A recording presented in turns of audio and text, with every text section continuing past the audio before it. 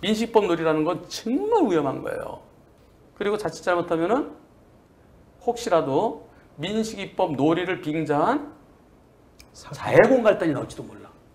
위에 고등학생이나 이런 애들이 형들이 동네 애들 야 니들 와. 야 니들 용돈 필요하지? 어 차 온다 준비. 그리고 고등학생 갖고 어이 형처럼 하면서 아씨 조심하셨어야죠. 아유 아유 뭐 그렇게 많이 다친 것 같지는 않으니까요. 예 뭐 한 200만 원만 주세요. 그렇게 생길 수도 있다고. 네. 그죠? 충분히 예상 가능하잖아. 그런 일이 일어나면 안 돼요. 그런데 오늘 신종 민식이법 놀이로 추정되는 그런 영상이 올라왔습니다. 민식이법 놀이 같대요. 네, 그렇게 느껴진대요. 여러분들은 과연 어떻게 느껴지실지 같이 보겠습니다. 음, 어린이 보호구역이었고요. 저는 한 시속 15 정도로 가고 있었습니다. 변호사님, 애청자입니다. 변호사님께서 민식이법 영상을 자주 다루시는 게 생각나서 이렇게 제보하게 됐습니다. 어린이 보호구역에서 어린이가 차 옆에, 차 옆에 저한테 뛰어들듯이 겁을 주더라고요. 내가 가고 있는데 애가 딱 나타나더래, 내 옆에. 같이 뛰더래. 뛰면서 나한테 달려들듯이 나한테 겁을 주더라는 거예요. 순간 화가 나서 멈춰서 쳐다보니까 그 내가 화가 나고 딱 애를 쳐다봤더니 애도 나를 빤히 쳐다보더니 가더래 그냥 같이 빤히 쳐다보더라 나 화가 나 있는데 네 초등학교 저학년으로 보이는 아이가 민식이법을 이용해서 어른들을 겁주려고 놀려먹는다는 느낌을 받았습니다 근데 저도 그렇게 느껴져요 블랙박스 화질이 좋지 않아 이 채택될지는 모르겠지만은 이런 사례가 이슈화되어서 하루빨리 민식이법이 개정되었으면 좋겠습니다 라고 하시는데요. 뭐 개정 여부는 그건 이제 정치권에서 하는 거고. 네. 그 민식이법에 문제점들이 자꾸 생기니까 그것은 앞으로 검토가 필요해요.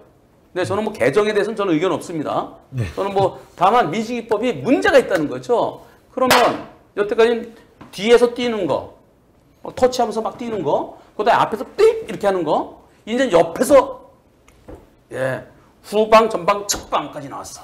어떤 걸까요? 이거 보시면은 네. 근데 신종놀이인지 아니면 마침 애뛴 건지 확실치 않지만은 어유 신종놀이로 추정됩니다. 어떤 내용이었을까요? 같이 보시죠.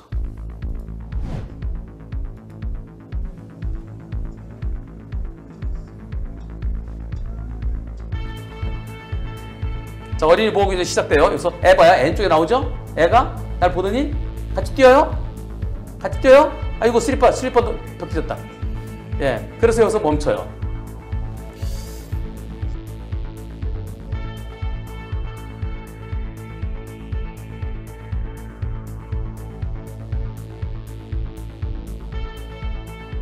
여기서 보면요. 이 아이가 좀 지금 원본 보세요. 저 한번 원본 한번 보세요. 여기. 저 아이. 원본이 지금 차, 자동차 보고 뛰고 있지? 그지? 조 선생님. 예. 그지? 애가 자동차를 보면서, 보면서 뛰지? 여기서 애가 가만히 있다가 차가 오니까 여기서 자동차를 쳐다보면 같이 뛰어? 같이 뛰어? 같이 뛰다가 아이고 여기서 슬리퍼가 벗겨질 뻔했어. 아. 그죠? 자동차 보고 뛰잖아요. 네. 아니 얘가 가만히 있다가 자동차 오니까 여기에서 가만히 있었어요. 자동차를 뛰어, 뛰어, 뛰어, 보조를 맞춰, 뛰어, 같이 뛰어, 뛰어, 자동차 보면서 뛰어, 보면서 계속 뛰어, 뛰다가 여기 여기 슬리퍼에 걸렸거든. 이러다가 만약에 제가 오른쪽으로 넘어지면 차치대로 넘어질 수도 있잖아요. 슬리퍼 신고 뛰다가 스텝이 꼬여갖고 네. 그러면 그 민식이법이에요. 왜? 애가 뛰면 내가 멈추라고? 내가 내가 조심해야지. 옆에 같이 뛰잖아. 눈에 보이잖아. 네. 눈에 보이면. 근데 안 보일 때 내가 갑자기 했다고 그럴 그럴 때는 운전 잘못 없지만 눈에 보이면 민식이법 놀이 민식 저 놀이하는 민식이법 놀이인지 아닌지 모르겠지만 하여튼간 옆에서 차근 채 애가 보이면 내가 차렷해야 돼요. 네. 차렷. 저러다 애가 뛰다가 민식이법 놀이하면서 민식이법 놀이를 추정이에요 추정. 네. 저 자동차 놀려주러 딱 운전자 쳐다보면서 같이 뛰어. 약 올리면서 이렇게 하면서 운전자 표정 보면서 그러다가 지가 넘어질 수도 있죠. 네. 어디 뭐 돌풀에 넘어질 수도 있고 네. 신발이 저기서 걸려가고 지금도 넘어질 뻔했어. 네. 저러다 넘어지면 자동차 또 넘어져갖고 만약에 애가 죽거나 크게 다치면 운전자가 무슨 잘못이에요? 그런데 어린이 보여서 조심했어야 된다. 어린이한테는 유의했어야지. 어린이가 뛰고 있어 봤, 조심해서 써야지. 그래서 어린이 보호구 가기가 싫다는 거예요. 그러니까 버스 기사분들이 나 어린이 보호 들어가기 싫다. 무섭다. 네. 그러니까 수원시에서 바꿔줬잖아요. 그러니까 그 동네 사는 사람들이 왜 버스에 다니면서 왜안 오냐? 내 저기까지 걸어가게 해야 되느냐? 그래갖고 얘네는 초등학교를 품고 있는 아파트 초품화라 그래요. 네. 초품화가 최고 인기 있었어요. 지금 초품화가 집값이 떨어진대요. 네. 버스가 안 다녀갖고 노선버스가 안 다녀갖고 교통이 불편하대. 이 아우 정말 민식이법이 많은 것을 변화시키고 있습니다. 최소한 운전자들은 안 가면 돼요. 안 가면 되지만은 택배차 같은 경우는 안 갈 수가 없잖아요. 네. 쫙 200m도 놓고 저저 거기서 올 수도 없잖아. 네. 또 대리 아저씨들, 대리 아저씨들, 어 거기 민식이법 그 저기 초등학교 근처요? 어 저 안 할래요. 아 거기 갈 수밖에 없잖아. 네. 그죠?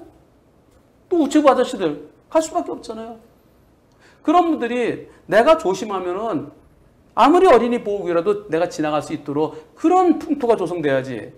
애들이 어른들을 갖다 놀려먹다가 애들 애, 애만 보면 무서워서 아 이거는 문제가 있습니다.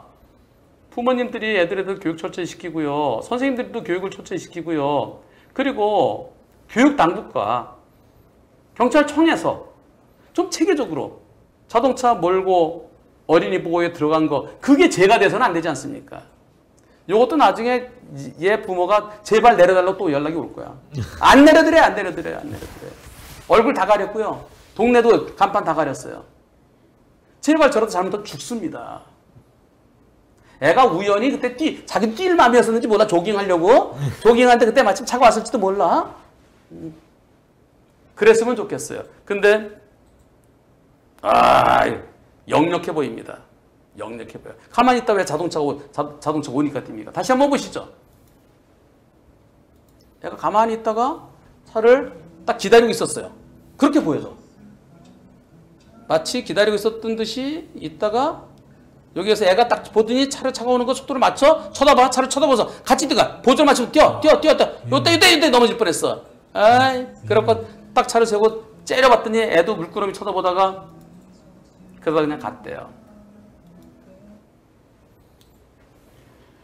여러분들의 자녀들의 안전은 여러분들의 아들들의 안전은 여러분들이 지켜야 됩니다 저 놀이 한 번 하면요 자꾸 하고 싶어요 네. 자꾸 하고 싶어. 언제 그럼 죽어요. 내 아들, 딸